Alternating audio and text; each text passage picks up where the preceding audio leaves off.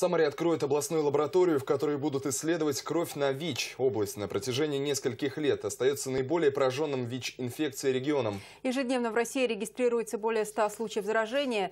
Накануне Дня борьбы со СПИДом Минздрав предупреждает, без мер предосторожности любой может оказаться под угрозой. Здесь на Запорожской комплектовывают клинико-диагностическую лабораторию. Все от того, что принимать ВИЧ-пациентов негде. Но потока больных не будет. Из корпуса, который базируется на Льва Толстого, переедет только медперсонал. Тем самым освободится место для больных.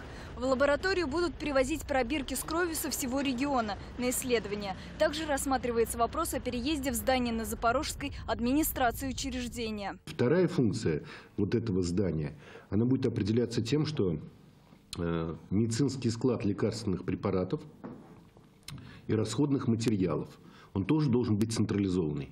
И оттуда будут поставляться медицинские препараты, если надо, в лечебные учреждения. Болезнь изгоев – четкий штамп в сознании общества. В то же время, не соблюдая элементарные меры предосторожности, любой человек может оказаться под угрозой заражения. По состоянию на 1 ноября 2012 года в Российской Федерации проживает 617 э, тысяч ВИЧ-инфицированных.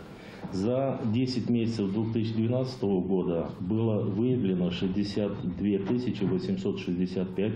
Сухая статистика, пугающие цифры в пересчете на жизни. Сегодня есть все необходимые медикаменты для того, чтобы с доказанной эффективностью обеспечивать э, жизнь пациентов без вторичных болезней и э, с той продолжительностью, которая возможна без инфекции ВИЧ. Самое ужасное, отмечают врачи, не физическая болезнь отдельно взятого человека, а болезненное отношение к нему со стороны общества.